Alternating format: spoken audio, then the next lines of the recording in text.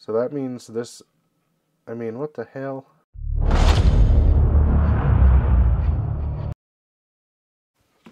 And we're back. Welcome back to the channel. And today we're building the new Element Enduro Compfox chassis. And this is a builder's kit. So we could do our own wheels and tires, body, all that stuff. So we're going to go ahead and get started on this and get right into it. Uh, this is a carbon, flat rail carbon chassis.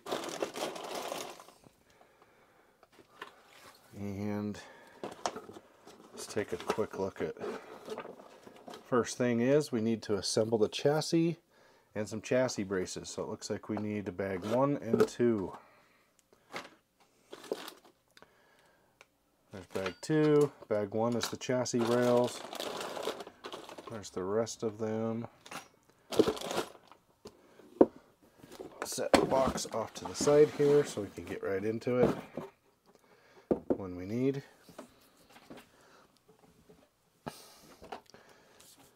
Got our driver, got our bits.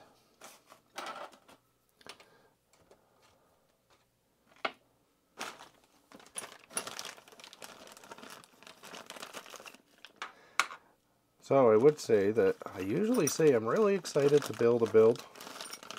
I wouldn't say I'm not excited to build this one, but I have no expectations of what this is. For a lot of my previous builds, or other, I know what I'm getting into. I know what this is, it's a comp chassis, but I have seen no reviews or anything on the build or any opinions from anybody else at this point. So we're just going into this blind, which is the way I like it, so that I can give you my opinion on how I think this thing was built. Um, like I said in my unboxing video, I'm going to say it again, I'm building this chassis because I built the other two production comp kits out there, which is the Vanquish VRD Carbon and the Axial SCX10 Pro. Both the kits were very nice to build. Um, one was portal, one was straight axle. They both serve their purpose. This truck here is a portal, and so uh, we'll see how that does. This is Element's first attempt at a portal axle, so we'll also see how that goes. Being on a lightweight comp truck, it might be okay, but we'll see how it handles everything. Um, I would like to say that I'm not a big comp guy. I want a comp, I don't really do it that much, so when you're if you're looking at me for advice on where to go comp or rules and stuff, that's not that's not me.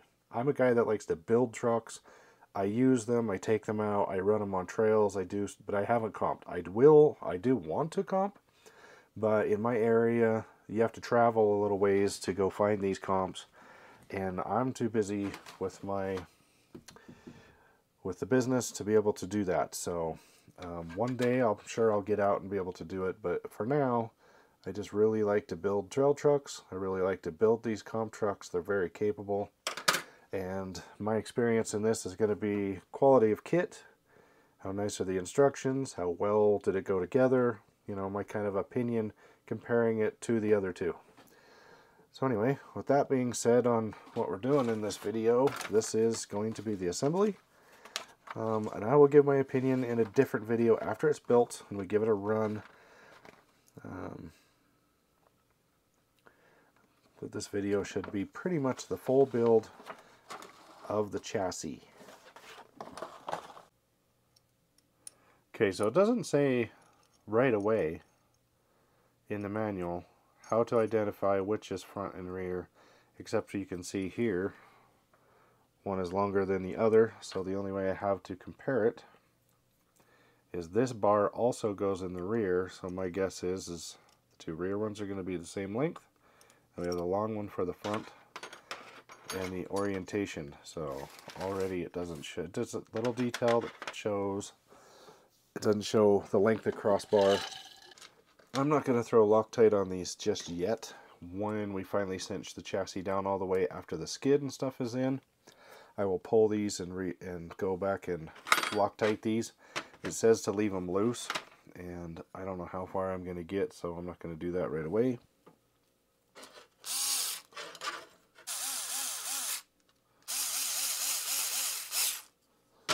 I am kind of curious who designed this. I've heard I mean, there's rumblings that Associate doesn't really have any designers in the U.S. anymore like they used to. And Associated Element RC is owned by Thunder Tiger, which is a Taiwanese manufacturer. So I'm guessing most of this stuff is being designed.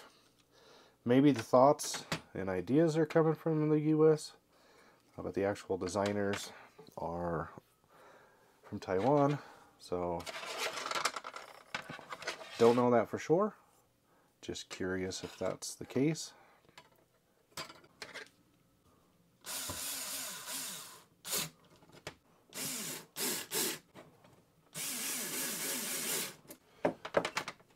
Okay, there we go. Everything is loose. It's not super tight. We're going to go back and Loctite everything down. And so that's as far as we've got so far. That was step one. They said to start building the chassis, but then it immediately goes into the transmission. So let's pull that bag. That's bag three.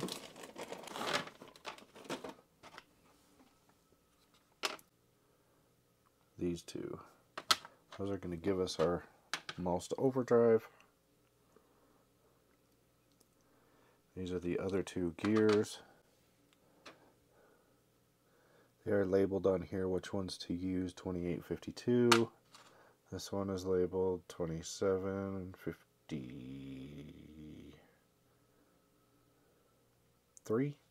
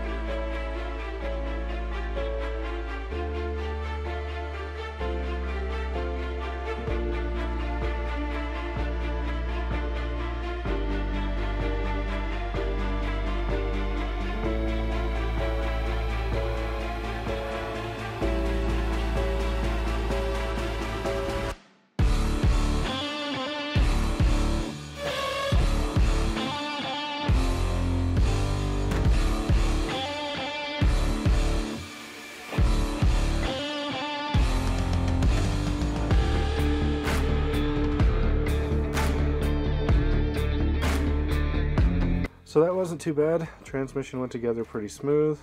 Uh, kind of a boring process. I want to make sure I got the overdrive in there correctly, so I wasn't talking very much during that. Uh, so anything, everything went pretty smooth putting the transmission together, so it looks like that part's all done. Um, it shows to bolt the motor in. I haven't got my power system figured out yet. Probably just run uh, a two-in-one in this truck, I would guess. Um, yeah, probably just run a Fusion Pro, maybe even a Fusion SE. Probably a Pro. So we're not going to put the motor and pinion gear and stuff on yet. Now it says we're on to the axles. Okay, we are on to front portal axle. I really like this tray. This is my my build tray has all the compartments in the front. It's looking pretty nasty. I've done some painting on it, but this thing's been around for a while. So we have the sintered gears, kind of a spiral. They're not cut, but they're a spiral this is probably one of the weak points of this axle. This gear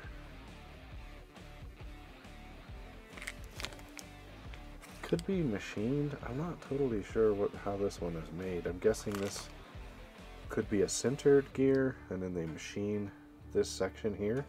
So I don't know how strong this thing is. I mean, that's a tiny little gear. I've heard that they can be weak, but never had problems with the element that we've had. Universals. Those look heavy duty enough, they should hold up fine. Again, sintered gears, but this is pretty common for a lot of vehicles to use this type of gear, so those will probably hold up just fine.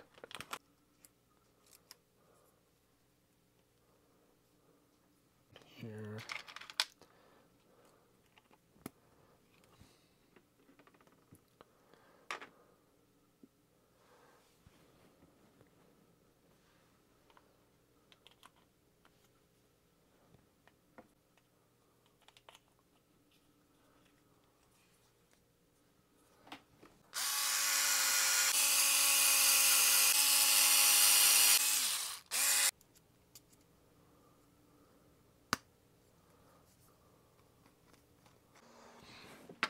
Alright, so we've got to this point. Now I did make a little bit of mistake. It might show up in the video, it may not.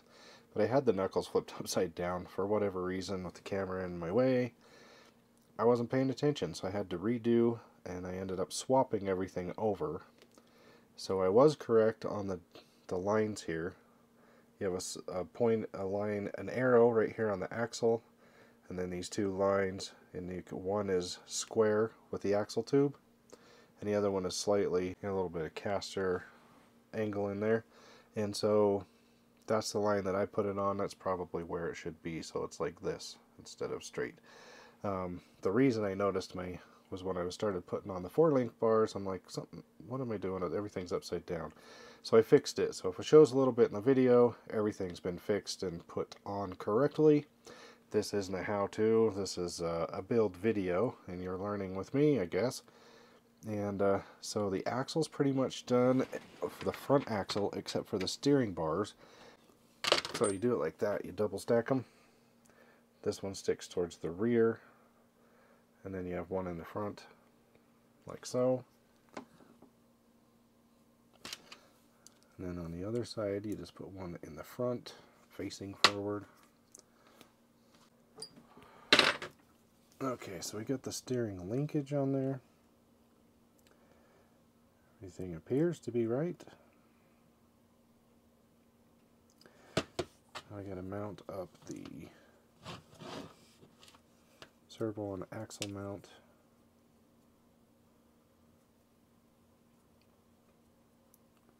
You can't really see, you can barely see it in the picture, but it shows you to put the little, so it fits around the truss there.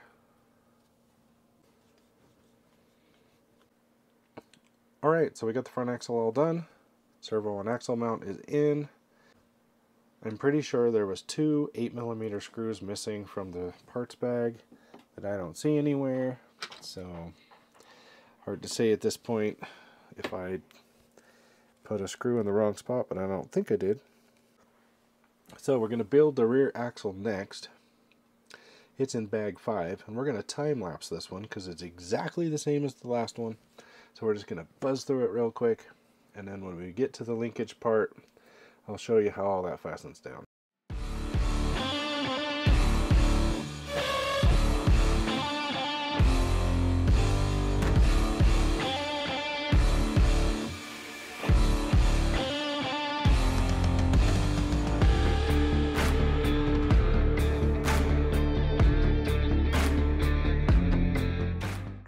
And we're back this is the next day. Last night you seen me get the axles built and that was enough for that night and so we're on to the next night. And we've already, I didn't want to film building links because the links are excessively boring to watch how to build. Um, and these links took a lot of attention to looking at the diagrams to get all the bends, the angles of the links, and everything in the right position. And it, it would it took forever to make sure I got everything laid out so we can get them all correct. Didn't have to undo or redo anything and measure all the links. So I've got all the links already built. Um, you just got to really follow the pictures, watch how everything's angled, the angles of the rod ends. Um, the only thing I'm running into is that there should be four straight ends. Like this one, it's just straight. But I can only find three. So I'm missing one to do the link. And uh, they give me three of these they give us three of these trees of rod ends but with only one straight on each one right here well I've already used them because this set right here uses two and the steering link is supposed to use two but I can only find three I don't know what's up with that I'm gonna have to find something that'll work when I put the servo in because I don't have the servo yet so not really sure what's going on there they do have some shorts but the picture doesn't indicate that it's a short. It looks like a long one, so we'll have to figure that out. So we're right now bolting the links to the chassis, doing some steering link, and uh, to the axles.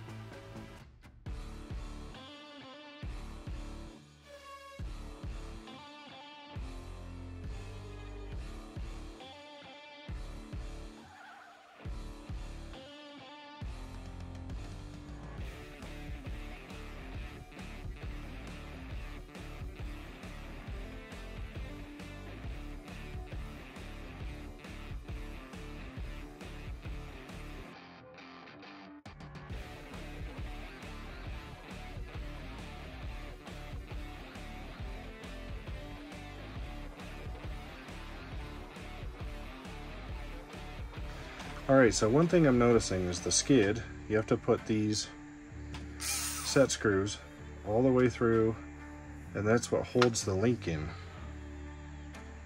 is these set screws. But just trying to get the screw to screw through this part, of it sounds like it's binding really bad. So it's freaking me out. I don't want to mess up the skid. So we're going to go ahead and spiral tap. We're going to thread um, tap the holes so that we uh, don't have any issues. Um, I don't want to ruin anything or get anything stuck in there and ruin the skid. I mean, it was really tight. It was starting to bind up bad. I even put grease on it, thinking that maybe they screwed up by putting black grease there instead of telling you to put black grease on those screws, which I really do think that was their intention to do. I think they made the diagram wrong because not on any of the other rods does it say to use grease. So I think that was a bit of a mistake. But I even tried to grease and didn't like it. So three millimeter spiral tap should work just great. So anyway, I installed, so there's a couple things I've noticed on the manual. It says to bolt the, in the middle of doing the links, it says to bolt the skid. Bolt the skid to the transmission, but then set it in the tran into the chassis, but yet you can't put it in the chassis because it doesn't say to screw it into the chassis, so therefore it's just falling out. Then down here it says to install the links to the lower part of the skid, which is right here, so you're installing these. I don't know why they show it in the chassis while you're doing it because you can't really do that because it's so anyway um, so what I also figured out is the set screws that you have to use these 16 millimeter set screws that go all the way through and hold those links in um, it's almost I wouldn't say it's impossible but it's a little sketchy to, to put it in there with just some grease. Also, I noticed here, it says use black grease on this rod end. I think they meant use black grease on these set screws because none of the other rod ends say use grease just on this diagram here. So I believe they that is an, uh, a mistake. It's supposed to say put grease on these before you screw them into the Delrin skid. Even with grease, it sounded way too bound up, and I was thinking I might be busting the tip of my screwdriver off or stripping it out. So I grabbed my 3 millimeter spiral tap, and I tapped this outer section on all sides. Uh, now, tap this outer section on all sides, and now the set screws go in smooth as butter, and then this is all started going to be pre-tapped for the screws to hold the whole thing in. So I think that's the best way to do it. If anybody watches this video, I highly, highly recommend tap the Delrin skid before you get too far into it. You might get yourself in trouble with that one. Now we're going to go ahead and install the rear links and then we're going to bolt it into the chassis. All right, we're on night three of putting this chassis together. Um, it isn't a long build. It'd probably go pretty quick, but when you, you know, I work. I get home late. I work on a little bit each night. So, and I like to take my time when I'm building stuff just to make sure we get everything correct. Um, there was a couple things that you might have noticed in the video if I still show them depending on how I cut this up. I had the links mounted down too low here. And I think that's partially due to, I got the camera here in front of me, the instructions are clear over there, and uh, the images are a little dark, so sometimes it's you really got to look pretty close to see where the lines tell you to put the holes. So I just had it misjudged. So I just misjudged it and had this link, these two upper links, down here, moved them forward, was able to hook everything up. I'm not sure about the, the geometry of all this stuff. It looks like the rear's right to the pictures I've seen, but the front looks a little off. So, so I'm going to take my calipers, remeasure all the links on the whole truck before we're done and just make sure that I'm within the realm of what they say I should be and then we'll go from there. Um, I think I'm pretty close, um, but I didn't caliper everything. I kind of just did it by eyeball because my calipers for home had died, but I have a brand new set at work that I will bring home and we'll get this all calibrated up before we finish everything. Um, for now, so we got the sliders on, we're to, and we're supposed to put together the drive shafts. This one should go pretty easy. I have enjoyed this, this build. It actually hasn't been that bad. There's a few things that kind of were goofy in the manual. I will go over that in the end of the video, exactly all of what they are. Probably already went over it throughout the video. And skipping from night to night, uh, you kind of forget a little bit of what you said, blah, blah, blah. So when I edit it, I'll try to chop it all up the best I can. I'm not totally good at this, but I try. Alright, so we got some pretty simple drive shafts. So we got drive shaft. Okay, so here's another thing in the manual that is confusing, is these drive shafts. It tells you the drive shaft length, front 33, Female number 2 is 33. Male 48. Rear 33, 33, 48. But these male pieces are not the same length. One is clearly longer. So they can't be the same length because they only give you two. So I don't know if I'm reading this wrong.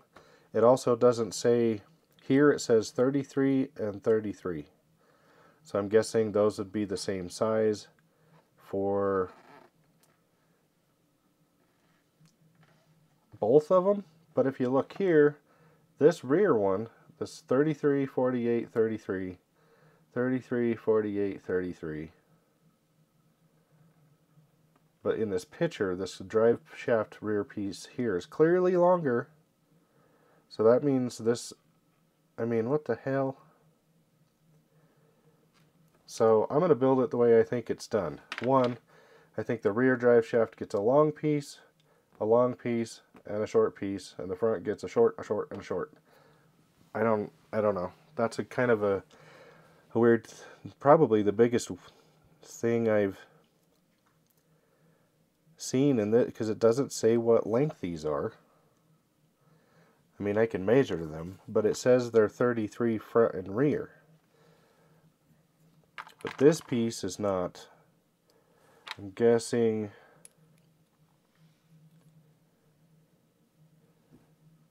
I don't know. You could, you can't even do, and I want to point out something. You can't even do four short ones because there's one long one and three short ones. So, I don't know. I think that's a little bit of an error on that part of the manual. So we're just going to build it how I think it should go, and I'm sure that's will be just fine. So we need to put the uh, uh, that part in there.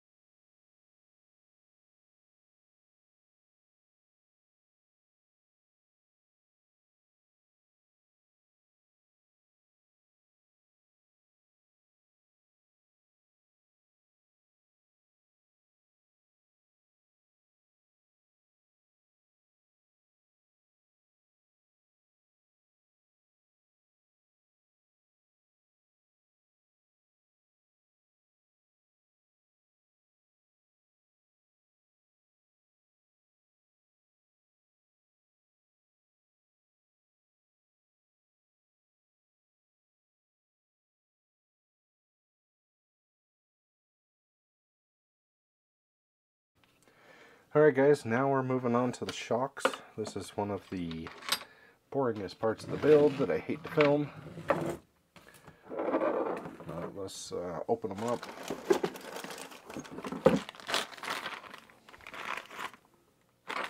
Take a look at them.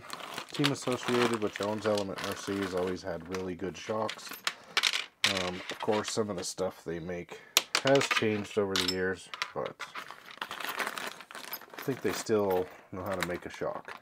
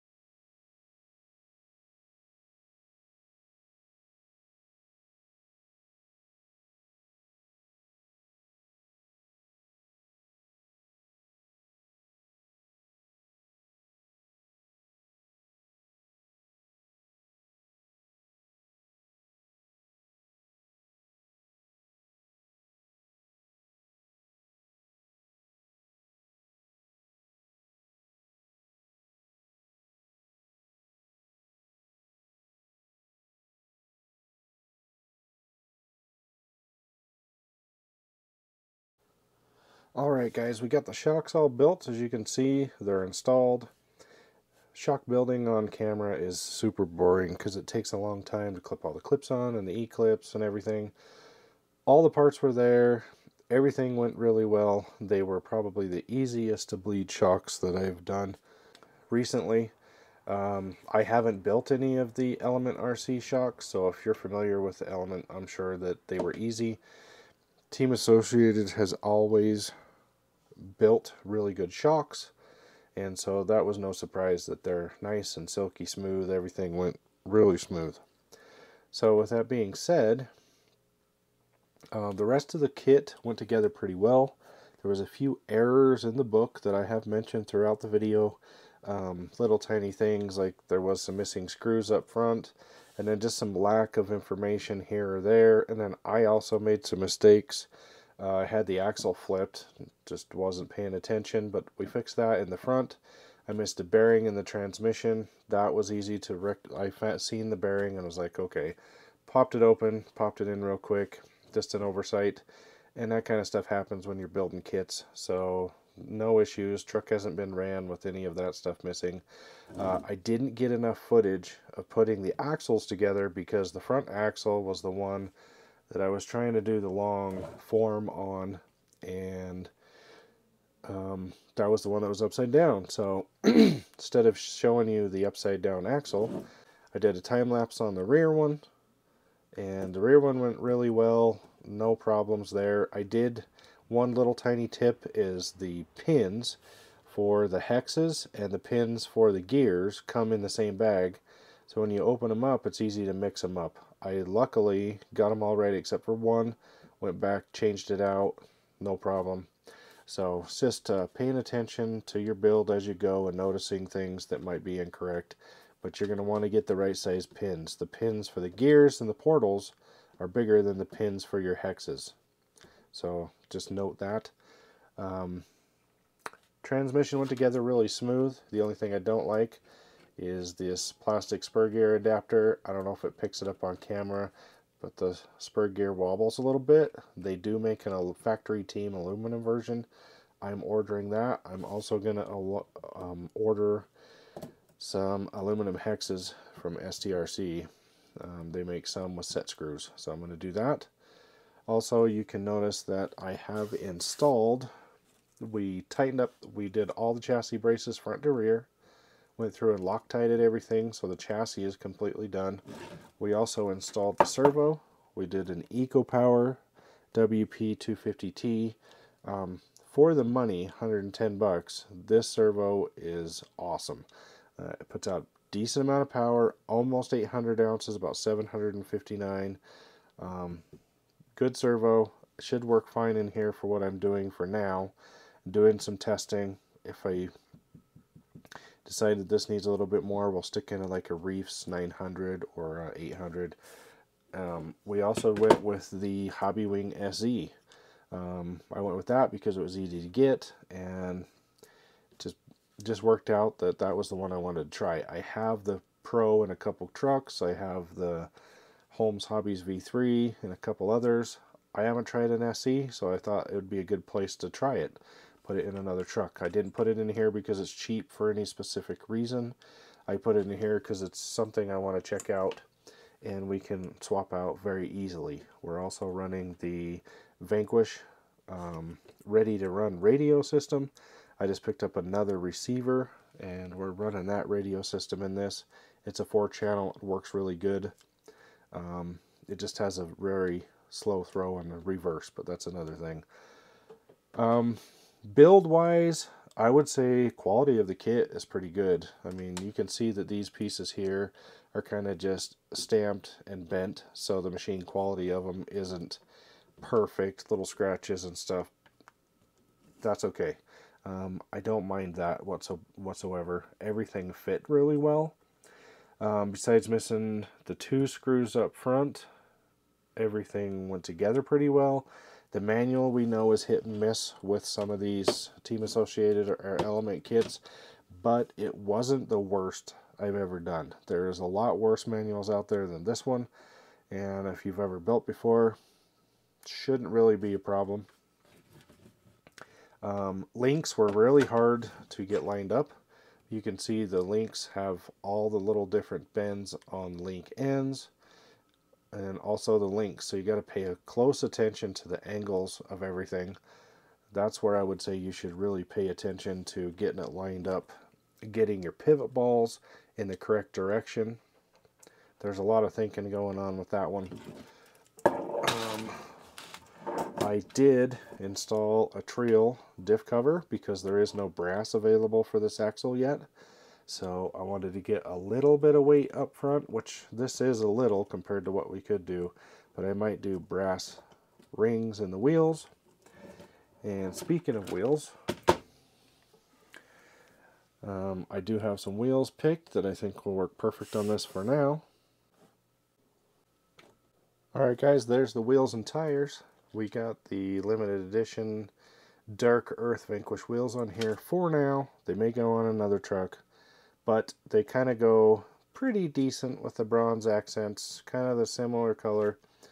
We also got the Battleborn rings on there, the clear. They look pretty sweet. Um, there's no weights in these right now, but I might do weights in the front. We're also doing Aztek Proline Azteks in Predator compound with the stock foams for now. Uh, we're going to give it a run, but I do think that these tires being so soft and squishy, we probably need to do two-stage foams in here for sure. So that's probably one thing we're going to upgrade. Um, Battery-wise, we are going to run Gens Ace Tattu 1300. This is the kind of packs that I like to run in these comp rigs. Something that's not too big. Um, okay, fits nice and something that's not too big that just fits nice on the side of the you can even go smaller. You could do it 850 450 um, this should work out pretty well for that. And then for the final touch of this build for now I wanted to do a cab only body but this body this chassis does not come with optional body mounts to mount uh, there's extra holes here and different places which would be easy to figure out but because I had a body handy I went ahead and painted up the Vanquish stance body. Um, turned out pretty good. Actually tried to do a very fairly simple one.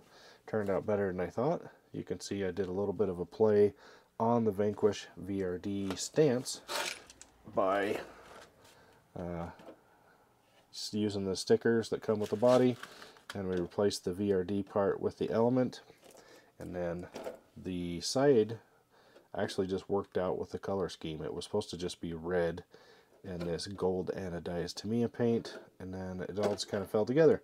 So we went that, that route, and I am very happy with the look. Um, should perform very well. Um, the body is as far down as it will go on the chassis. On the back, it's all the way down to the brace. So this brace in the manual goes up here I moved it to back here to get the body mounts a little further back. If you mount it where it is stock, it's clear up here. I didn't think that was enough support for a body, so I moved it back on the shock tower to the reverse. It's as low as it can go. You can go lower with the shock mounting holes if you want, but you'll need to do that before you drill the holes in your body. Um, I think the thing turned out pretty good. All in all, a brief description of the build.